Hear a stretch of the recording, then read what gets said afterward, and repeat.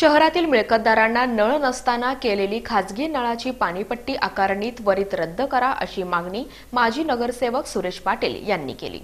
सोलापूर शहरातील मिळकतदारांना नळ नसताना देखील चालू कर आकारणीमधील खाजगी नळाची पाणीपट्टी आकारण्यात आली आहे. ती त्वरित रद्द करावी तसंच युजर चार्जेस घनकचरा व्यवस्थापन स्वच्छता व आरोग्य उपविधी कर देखील रद्द करावेत. या मागणीचं निवेदन माजी नगरसेवक सुरेश पाटील यांनी महापालिका आयुक्त शीतल तेली उगले यांना सादर केलं. सोलापूर शहरात चाळीस ते पन्नास हजार बेकायदेशीर नळ जोडणी आहे. याकडे आयुक्तांनी लक्ष देण्याची गरज आहे. या चाळीस ते पन्नास हजार बेकायदेशीर नळधारकांवर दंडात्मक कारवाई केली असती तर या माध्यमातून सोलापूर महानगरपालिकेला मोठं उत्पन्न मिळणार आहे.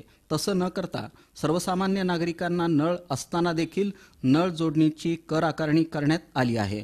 ती रद्द करावी अन्यथा नागरिकांसमवेत तीव्र आंदोलन छेडण्यात येईल असा इशारा माजी सभागृह नेते सुरेश पाटील यांनी दिलाय. हे जे लावलेलं कर आहे हे त्वरित पाणीपट्टी खाजगीचं रद्द करावं आणि युजर चार्जेस बी ज्या ठिकाणी यूज नाही ते तर रद्द केलंच पाहिजे. आणि ज्या ठिकाणी यूज असताना जे आम्ही कर्ज घेतलेले पैसे सर्व पेडून सहित आपण अजून बी ते चालू ठेवलेलं आहे.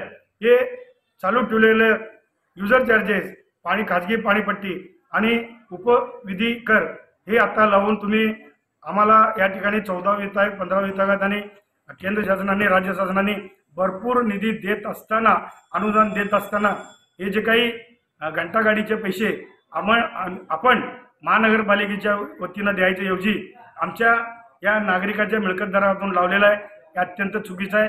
अनेक नगरसेवकांनी या ठिकाणी सभागृहामध्ये उपस्थित केलेलं आहे. मला विनंती करायचं आहे सर्व लोकप्रतिनिधी आणि मंत्र्यांना आमचे मुख्यमंत्री आमचे उपमुख्यमंत्री यांना बी विनंती करायचं आहे. आपण सर्व नगरसेवकांनी माजी पदाधिकारी माजी नगरसेवक या ठिकाणी मोठ्या प्रमाणात जर ऐकत नसतील तर आपण मोठ्या प्रमाणात आंदोलन करूया.